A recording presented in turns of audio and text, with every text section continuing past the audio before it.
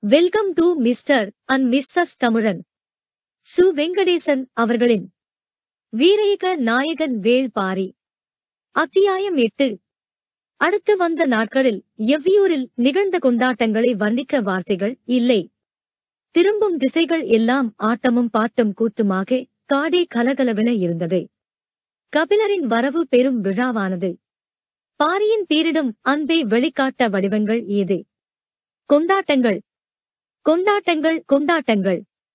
கபிலரை தோளிலே சுமந்து வந்தான். பாரி என்ற செய்தி நாடு எங்கும் பரவியது. கபிலர் யார் என பரம்பு மக்களுக்கு நேற்று வரை தெரியாது. ஆனால் தங்களின் தலைவன் தோளிலே சுமந்த ஒரு மாமனிதனைப் பற்றித்தான் இப்போது காடு எங்கும் பேச்சு. ஒரே நாளில் கபிலர் காட்டின் கதையாக மாறினார். அவரை அழைத்து வந்த நீலனும் வேட்டூர் பழையனும் இப்போது எல்லோராலும் தேடப்படும் மனிதராக இருக்கின்றனர். வேட்டவன் குன்றில் கால் பதித்ததில் இருந்து எவ்வியூருக்குள் நுழையும் வரையிலான கபிலரின் ஒவ்வொரு அடியும் இப்போது பழையனின் கதைக்குள் மிதந்து கொண்டிருக்கின்றன. தனது வீரத்தால் பேர் எடுத்து நீலனின் புகழ் கபிலரால் இன்னும் உச்சத்துக்குப் போனது. எந்நேரமும் இளம் பெண்கள் சூழ இருக்கும் நீலனைக் கண்டு அவரது நண்பர்கள் சற்றே பொறாமை கொள்கின்றனர். காலிலே தசைப்பிடிப்பு ஏற்பட்டவுடன் திருப்பி அனுப்பாமல் அழைத்து வந்து நீலனை கட்டி அழைத்தான் பாரி. கண நேரத்துக்குள் அவருக்கு தனிமயக்கி மூலிகை கொடுக்க வேண்டும் என நீ துணிந்ததுதான் மிக முக்கியம். சிறந்த வீரனால் மட்டுமே அந்நிலையில் நாகைக் கிடங்குக்குள் நுழைய முடியும் பாரி சொன்ன சொற்களை இப்போது எல்லோரும் சொல்கின்றனர். கொற்றமை விழா தொடங்க ஒரு வார காலம் இருக்கு. இப்போது கபிலருக்கான விழா தொடங்கியது.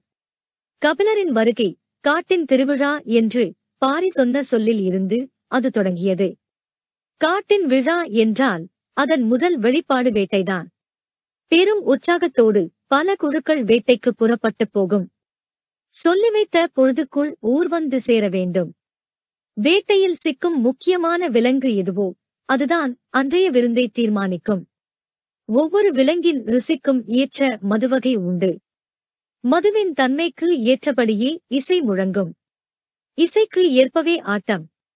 அன்றைய ஆட்டத்தின் ஆரம்பம் வேட்டையாடப்படும் விலங்கில் இருந்தே தொடங்குகிறது.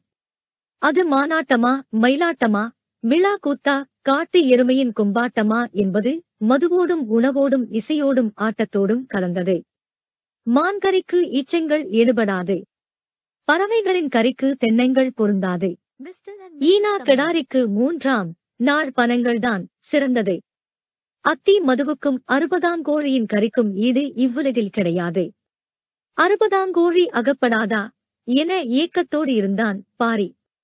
வேட்டைக்குப் போன ஒரு குழுவாவது அறுபதாங்கோழியை பிடித்து வரும் என மூன்று நாட்களாக பாரி ஆசையோடு காத்திருக்கிறான். கபிலர் எனும் பெரும்புலவர் வந்திருக்கிறார். அந்த வருகையை கொண்டாட அறுபதாங்கோழியே பொருத்தமானது. பாரியின் ஆசை இன்றாவது நிறைவேற வேண்டும் என எவ்வியூரில் இருக்கும் ஒவ்வொருவரும் ஆசைப்படுகின்றனர். முதல் நாளும் கிடைக்கவில்லை. அடுத்த நாளும் கிடைக்கவில்லை.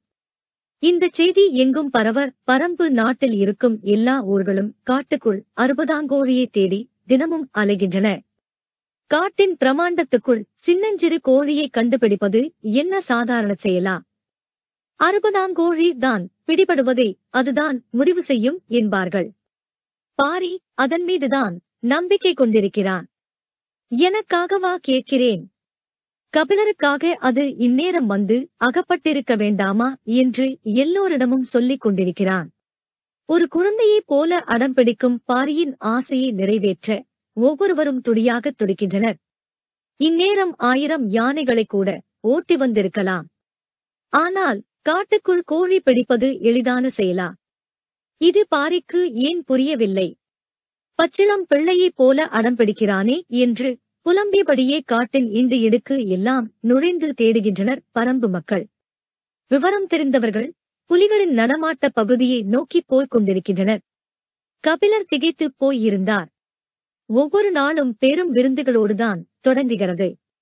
மறுநாள் அதைவிடச் சிறந்த விருந்து அரங்கேறுகிறது அவர் யவன திரளை பாண்டிய கிழவனோடு உட்கார்ந்து நாட்கணக்கில் குடித்திருக்கிறார். சேரனோடு பெருவிருந்து உண்டு மகிழ்ந்திருக்கிறார். ரசனையில் சோழனே சிறந்தவன் என கருதுபவர் கபிலர். அவரது உபசரிப்பும் ஏற்பாடுகளும் அவ்வளவு எழில் வாய்ந்தவையாக இருக்கும். அவை எல்லாம் அதிகாரத்தாலும் ஆடம்பரத்தாலும் நடப்பவை செல்வத்தின் திளைப்பில் நடப்பவை. ஆனால் இங்கு நடப்பது முற்றிலும் வேறானது. பாவனைகளும் அலங்காரமும் படியாத மானுட அன்பின் தூய வடிவம். அதே தூய்மையுடன் இருக்கும் ஒருவனால்தான் இதை அனுபவிக்க முடியும். மனதின் ஓரத்தில் இருக்கும் அழுக்கு கூட நம்மை வெட்கி தலைகுனிய செய்யும் அளவுக்கு உக்கிரம் ஏறிய பேரன்பு இது. கபிலர் திணறி போனார். ஆருக நாட்டுச் சிறுகுடி மன்னன் செம்பனிடம் தான் சொல்லி வந்த வார்த்தைகள் உள்ளத்தை அறுத்துக் கொண்டிருந்தன. பாரியின் தூய்மையான அன்புக்கு முன் நான் கூனிக் குறுகியே நிற்கிறேன். நான் அதற்கு தகுதியானவன் அல்ல அவரது புகழ் மீது ஐயங்கொண்டு அதைக் கண்டறியவே நான் இங்கு வந்தேன். இதை அவரிடம் சொல்ல வேண்டும் என்று கபிலரின் மனம் தவித்தது. பாரியின் நிழல் போல் எந்நேரமும் உடன் நிற்பவன் முடியன். வேகமும் வீரமும் கொண்ட இளைஞன். அவரது இடுப்பில் ஒரு பக்கம் வாழும் இன்னொரு பக்கம் மாட்டுக்கொம்பும் தொங்கிக் கொண்டிருந்தன. பழமையும் புதுமையுமான இரண்டு ஆயுதங்களை ஒரு சேர வைத்திருந்தான். முடியன் என்பது அவரது பெயர் என்றுதான் கபிலர் முதலில் நினைத்தார். ஆனால் அது தளபதி போல ஒரு பட்டம் என்பது பின்னர்தான் கபிலருக்கு தெரிய வந்தது அதேபோல் எவ்வியூரில் எல்லோரும் வணங்கும் மனிதராக பெரியவர் தேக்கன் இருக்கிறார். அதுவும் பட்டமா அல்லது பெயரா என கபிலருக்கு தெரியவில்லை. இருவரிடமும் தனது நிலையை விளக்க வேண்டுமென கபிலர் முயற்சி செய்ய அவர்களோ அறுபதாங்கோழி கிடைக்கும் வரை எதையும் காது கொடுத்து கேட்கவே தயாராக இல்லை. கபிலர் என்ன செய்வது எனத் தெரியாமல் திக்கித் திணறிக் கிடந்தார். ஆனால் கபிலரை விட திணறிக் கிடப்பது பரம்பு மக்கள்தான். அறுபதாம் கோழிக்காக அவர்கள் இப்போது காடு எங்கும் அறிந்து கொண்டிருக்கின்றனர். பாரியின் குடும்பம் உள்பட. ஆசைப்பட்டது பாரி என்பதால் அதை நிறைவேற்றுவதை கடமையாகவே எல்லோரும் கருதுகின்றனர். அறுபதாம் கோழி காட்டின் அதிசயங்களில் ஒன்று. கோழியைப் போல் உடலும் சேவலைப் போல் வாலும் கொண்டிருக்கும். வண்ணமயமான வாங்கருவாள் போல் வாலின் இறகுகள் சிலிர்த்து நிற்கும். அது அறுபது நாட்களுக்கு ஒருமுறைதான் முட்டையிடும். அந்த பறவை சாவதற்கு முன் ஒரே ஒருமுறை பெருங்குரல் எழுப்பிக் கூவிவிட்டு செத்துப் போவதைப் போலத்தான் இதுவும். சாவதற்கு முன் பகற்பொழுதில் சேவலைப் போல் பெருங்குரல் எடுத்துக் கூவிவிட்டு செத்துப் போகும். அந்த ஓசைதான் அதை அறுபதாங்கோழி என்று அடையாளப்படுத்துவது. ஓசை வந்த பகுதியில் தேடினால் ஏதேனும் ஓர் இண்டிடுக்குள் செத்துக் கிடக்கும். அறுபதாங்கோழியைத்தான் முருகன் தனது கொடியில் வைத்திருந்தான்.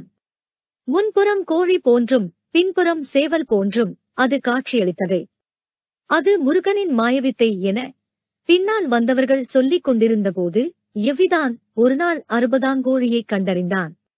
முருகன் கொடியாக வைத்திருந்தது இதுதான் என்பது அவன் சொல்லித்தான் மற்றவர்களுக்குத் தெரியும். அந்த கோழியின் பெரும் அதிசயம் என்ன என்றால் அதன் கழிவில் இருந்துதான் தீப்புல் முளைக்கும். அதன் கரியின் சுவைக்கு ஈடிணை இல்லை. முருகனிடம் இருக்கும் ஒன்றின் சுவையைப் பற்றி தரித்துச் சொல்ல வேண்டியது இல்லை.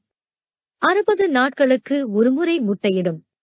அது காட்டுக்குள் எந்த விலங்கின் உணவாகவும் மாறாமல் மண்ணுக்குள் பாதுகாப்பாக இருந்து பொறிக்க வேண்டும். அதன் சுவை வேட்டை விலங்குகளுக்கு மிகவும் பிடித்தமானது. ஆனால் அதை வேட்டையாடுவது எளிது அல்ல புலி போன்ற வேட்டை விலங்கு அதன் சுவைக்கு மயங்கி அதன் வாசனையை நுகர்ந்தபடி. காட்டின் குறிப்பிட்ட பகுதியில் அறிந்து கொண்டே இருக்கும். புலியால் எளிதில் அறுபதாங்கோழியை பிடிக்க முடியாது. அதே நேரம் அதன் வாசனையை விட்டு விலகவும் முடியாது. எந்நேரமும் புதருக்குள் பதுங்கியபடியே நகர்ந்து கொண்டு கிடக்கும். தன்னை கடந்து போகும் மான் கூட்டத்தைக் கண்டும் புலி அமைதியாக இருக்கிறது என்றால் அங்கு அறுபதாங்கோழி இருக்கிறது என அர்த்தம். புலியின் இந்த மயக்கச் செயலின் வழியே அங்கு அறுபதாங்கோழி இருப்பதை காடு அறிந்தவர்கள் அறிவார்கள். நான்காம் நாள் அதிகாலை தென்புற காட்டுக்குள் சரசரவன கீழ் இறங்கினான் பாரி. உடன் வீரர்கள் சிலரும் சென்று கொண்டிருந்தனர். புலியின் நடமாட்டம் பற்றிய தகவல் வந்திருக்கலாம். எனவே அறுபதாங்கோழி இருக்கும் வாய்ப்பு இருக்கிறது. நாமே செல்வோம் என முடிவெடுத்து பாரி போய்க் கொண்டிருக்கிறான் என்று மற்றவர் நினைத்தனர். சிற்றோடையை தாண்டிய சிறிது தொலைவில் செழித்து வளர்ந்திருந்த கடம்ப மரத்தின் முன் நின்றான் பாரி. குறி சொல்லும் வேலன் பூசாரி முன்னரே அங்கு வந்திருந்தார். வீரருக்கு அப்போதுதான் புரிந்தது. சற்று தொலைவில் நின்று முருகனை நோக்கி கைதொழுத்தனர். தமிழ் நிலத்தில் எஞ்சியிருக்கும் மலைமக்களின் அரசுகள் இருபத்திரண்டு மட்டுமே. அவற்றுள் முதன்மையாக அறியப்படுவது பரம்பு நாடு. அதன் தலைவன் பாரி. இந்த நாட்டை பற்றி மூவேந்தருக்கும் சமவெளியில் வாழும் மக்களுக்கும் இதுவரை தெரிந்து உண்மைகள் பாணர் பலரால் சொல்லப்பட்டவையே. தமது வறிய நிலையை போக்க வரும் பாணர் பாரியன் அள்ளித் தரும் வள்ளல் தன்மையே மீண்டும் மீண்டும் பாடினர். ஆனால் வேடர்களின் பரம்பு நாடு எத்தகைய வளத்தைக் கொண்டுள்ளது அந்த மக்கள் தமது வாழ்வை எப்படி அமைத்துக் கொண்டுள்ளனர் பாரி நடத்தும் ஆட்சியின் தனித்துவம் என்ன என்று இதுவும் வெளி உலகில் இருப்பவர்களுக்கு தெரியாது. மலைமகன் ஒருவன் ஆளுகிறான் இல்லாதவர்கள் போனால் இல்லை எனச் சொல்லாமல் அள்ளித் தருகிறான் என்றுதான் நினைத்திருந்தனர். முதன்முறையாக வயிற்றுப்பாட்டுக்காக அல்லாமல் பாரியையும் அவனது பரம்பு நாட்டையும் அளந்து பார்க்க வேண்டும் என்று முடிவோடு ஒருவர் வந்திருக்கிறார். வெளி உலகின் கண்கொண்டு இந்த நாடு இப்போதுதான் பார்க்கப்படுகிறது. இவர்கள் காட்டின் பழமையான மைந்தர்கள்தான். ஆனால் காலமாற்றத்தின் கரங்களை இறுகப் பற்றியுள்ளனர். இந்த மண்ணில் இருந்து அழிக்கப்பட்ட எத்தனையோ குலங்களின் கண்ணீரும் இரத்தமும் இவர்களை உருமாற்றியபடி இருக்கின்றன பத்து ஆண்டுகளாக இந்த குலத்தின் தலைவனாக இருக்கிறான் வேள்பாரி. வேளிர்குல வீரன் ஒருவன் எரியும் ஈட்டியைக் கண்டு வேந்தனே ஆனாலும் விலகி நிற்கும் மனநிலையை உருவாக்கிய மாவீரன் வேள்பாரி. நாடு என்பது அரசும் அரச நியதியும்தான் என விதி செய்பவர்களுக்கு மத்தியில் நாடு என்பது அரசற்ற மக்களின் ஆதிநிலம் என நிலைநிறுத்தியுள்ளான். இந்த நிலத்தில் நடந்து வரும் கபிலருக்கு கண்ணில் படுபவை எல்லாம் ஆச்சரியத்தையே உண்டு பண்ணின. அதிகாரம் உயிர் பெறாத இடத்தில் அன்பு மட்டுமே தழைத்திருக்கும். ஆசை கோபம் சோகம் எல்லாமே அன்புமயமாக நிகழும் ஓர் உலகின் நிகழ்வை கனவில் கூட காண முடியாதே. நிஜத்தில் என்ன செய்வார் கபிலர்? நிலை குலைந்து போனார். கபிலரின் கண்களில் முதலில் பட்டது பரம்பின் தலைநகரான எவ்வியூர். வேட்டூரில் இருந்து நடந்து வரும்போது நீலன் சொன்னான் பாம்பு தச்சன்தான் எவ்வியூருக்கு வடிவம் கொடுத்தவன் என்று. பாம்பு தச்சனா? அது யார்? எனக் கேட்டார் கபிலர். பாம்புக்கு வீடு கட்டும் தச்சன் யார்? என திருப்பிக் கேட்டான் நீலன். கரையான் என்றார் கபிலர். கரையான் கட்டியுள்ள புற்றைப் போல ஆதிமலையின் நடுவில் உள்ள கரும்பாறையைச் சுற்றி பாறையோடு பாறையாகச் சற்றே குறைந்து முன்னால் குற்றுமண்ணால் சுவர் எடுத்து மரச்சத்திரங்களால் வடிவமைக்கப்பட்ட வீடுகளைக் கொண்டது எவ்வியூர். கார்காலத்தில் மழை கொட்டித் தீர்க்கும். எவ்வளவு பெரிய மழை பெய்தாலும் உச்சியில் இருந்து கீழ்நோக்கி பாய்ந்தோடும் நீர் சிறு துளி கூட தேங்கி நிற்காது. கோடையில் கொடுங்காட்டு தீ பரவினாலும் உள்ளுக்குள் ஏறாது. சுட்டமண் மழைக்கு உறுதியானது நெருப்பை உள்வாங்கும். அனல் தாங்காமல் இலகி உருகும். ஆனால் புற்றுமண் நெருப்பை ஒட்டவிடாது விலக்கிக் கொடுக்கும். நீரும் நெருப்பும் ஒன்றும் செய்துவிட முடியாத ஒரு கட்டுமானம். இவற்றுள் மிக வியக்க வைப்பது எவ்வி கட்டியுள்ள அரண்மனை. அதை நேரில் பார்த்தால்தான் உமக்கு புரியும் என்றான் நீலன். எவ்வியூரை காணும் வரை இதன் வடிவம் கபிலருக்கு பிடிபடவில்லை. உண்மையில் ஆச்சரியம் நிரம்பிய கட்டுமானம்தான் இது. இன்னும் அரண்மனையை பார்க்கவில்லை. அதைப் பற்றி ஒற்றை வரியில் முடித்துக் கொண்டான் நீலன். பார்த்ததன் வியப்பு பார்க்காததன் மீதே படுகிறது. அவருக்கு அரண்மனையை பார்க்க ஆசைதான். ஆனால் இந்த ஊரில் எந்த தெருவுக்குள் போனாலும் ஆச்சரியத்தின் வழியாகத்தான் கடக்க வேண்டியிருக்கிறது. பரம்பு நாட்டில் மனிதன் உழைத்து விளைவிக்கக்கூடிய எந்த ஒரு பொருளும் இல்லை. தினை வகைகள் பழ வகைகள் காய்கறி வகைகள் எல்லாம் இயற்கையில் தாமாக விளைகின்றன. உணவு என்பது சேகரிப்புதானே தவிர உற்பத்தி அல்ல. பிறநாடுகளைப் போல் உணவு உற்பத்திக்காக பெரும் உழைப்பை செலுத்த வேண்டிய தேவை இல்லை. பிறநாடுகளில் பெரும்பகுதி மக்கள் செய்யும் வேலைக்கு இங்கு சிறு பொழுது மட்டுமே செலவழிக்கப்படுகிறது. ஆண்களின் வாழ்வு முழுவதும் ஆயுதங்களோடுதான் கழிகிறது. வேட்டை தொடங்கி போர் வரை எல்லாவிதமான ஆயுதங்களையும் பயன்படுத்தும் அசாதாரணமான கலையை ஒவ்வொருவரும் கற்றிருக்கின்றனர். எட்டு வயதில் காடு அறிந்துவர வீட்டை விட்டு வனத்துக்குள் அனுப்பப்படும் சிறுவர் அதன் பிறகு மாவீராகத்தான் குடில் திரும்புகின்றனர். இவரின் முயற்சிக்கு இணையான முயற்சிகள் வேறு எங்கும் இல்லை. இரண்டாவது இயற்கையை அறிதல். தாவரங்கள் விலங்குகள் பறவைகள் காலநிலைகள் ஆகியவற்றைப் பற்றி இவருக்கு இருக்கும் பேரறிவுக்கு இணை சொல்லும் அறிவு வேறு எவருக்கும் இல்லை. அதனாலேயே இவர்கள் மருத்துவத்தில் அற்புதங்களை கைவரப் பெற்றவராக இருக்கின்றனர். மருத்துவம் கைவரப் பெற்றதாலேயே வீரத்தின் எல்லையை இன்னும் கூட்டுகின்றனர். பயிற்சியின் போது வாழ்முனை நெஞ்சை கீறிப் போனாலும் கவலை கொள்ளும் வீரன் எவனும் இல்லை. அத்தா பொருத்தி மூலிகையை கண்டறிந்த பிறகு சதையை அறுத்துக் கொண்டு போனாலும் அறுத்ததை பொருத்திக் கொடுக்கிறான் மருத்துவன். பரம்பு நாடு அபரிமிதமான ஆற்றலோடு இருக்கிறது. வெளியுலகுக்கு பெரிதாகத் தெரிவது பாரியின் புகழ்தான். ஆனால் அதைவிட பெரிய ஆற்றலும் அறிவும் ஆச்சரியங்களும் இங்கு இருக்கின்றன. ஆனால் இவை எல்லாவற்றையும் விட கபிலர் அதிசயித்தது இந்த மக்களின் வாழ்முறையைத்தான். ஒவ்வொருவருக்கு என தனித்த சொத்தும் எப்பாடுபட்டாயினும் அதை சேமித்துப் பெருக்க வேண்டும் என்ற பெருந்தாகமும் இங்கு இல்லை. இயற்கை பிற உயிரினங்களுக்கு வடிவமைத்த குண எல்லைகளை கடந்து மனிதன் போகவில்லை. மழை வந்ததும் செழிப்புறத் தழைத்து வெயில் காலத்தில் வாடித்து வந்து மலரும்போது நறுமணம் வீசி கனியும்போது அள்ளி வழங்கி உதிரும்போது சத்தம் இல்லாமல் மண்ணில் மக்கி தம்மை உரமாக்கியபடி பயணத்தை முடித்துக் கொள்ளும் இந்த வாழ்க்கை கபிலரை மண்டியிட்டு வணங்க வைத்தது. கடம்ப மரத்தின் முன் மண்டியிட்டு வணங்கிய பாரி நீண்ட நேரம் கழித்தே எழுந்தான். வேலன் பூசாரி குறி சொன்ன வார்த்தைகள் எவையும் அவனது காதுகளில் விழவில்லை. அவன் முருகனை வணங்கி நின்றான். ஆனால் அவன் மனம் வணங்கவில்லை. அவனுக்கு இருந்தது கோபம். அதை தெரிவிக்க வேண்டும் என்பதற்காகவே இறங்கி வந்தான். காற்றின் அசைவின்றி இறுகி நின்றது கடம்ப மரம் பாரியும் கோபம் தளர்த்தாமலே திரும்பினான். எதிரில் செய்தி சொல்ல ஒருவன் வேகமாக இறங்கி வருவது தெரிந்தது. பாரிக்கு ஆவல் மேலிட்டது.